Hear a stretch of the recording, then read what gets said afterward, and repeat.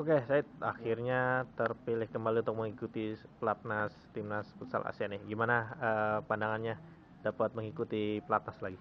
Pasti ya bangga lah, senang untuk seleksi untuk Piala Asia ini karena ya masih mendapat kepercayaan dari pelatih untuk untuk membela timnas.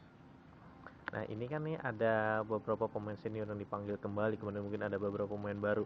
Untuk saya sendiri gimana dengan kehadiran mereka di pelatnas kali ini? Ya bagus, untuk bisa menambah kuota dan menambah motivasi kita dalam latihan, ya makin supaya makin bisa bersaing lagi. Nah, uh, ini menurut saya sendiri di pelatnas kali ini ada nggak tantangan tantangan ya? Mungkin kan selain ada pemain senior, kemudian mungkin ada efek latihan baru atau gimana? Ada nggak tantangan dari bagi saya sendiri? Pasti lebih besar tantangannya karena target juga kan ini main di level Asia bukan di Asia Tenggara lagi pasti latihan pasti lebih berat.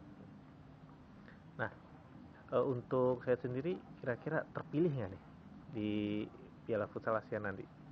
Pasti saya optimis ya dan bisa bersaing dan kalau masalah terpilih itu pasti pelatih lah yang menilai yang penting sekarang pelatnas, berusaha semaksimal mungkin nih. Semaksimal mungkin. Nah, sekarang nih bagi saya sendiri e, peluang Indonesia di Piala Futsal Asia sendiri gimana? Ini kan grupnya maut nih, Cina, ya. Australia sama Iran nih.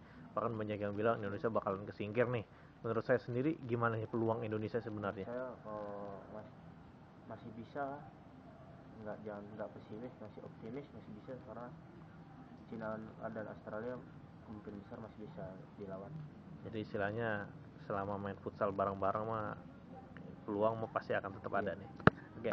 Dan sekarang nih bagi saya apa nih harapannya untuk futsal Indonesia? Harapannya lebih maju ya, lebih profesional lah bisa kayak tim-tim luar negeri di luar liganya juga berjalan bagus.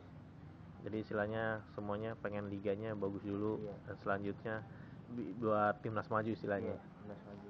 Oke deh kalau gitu makasih semoga kepilih di pelatnas kali.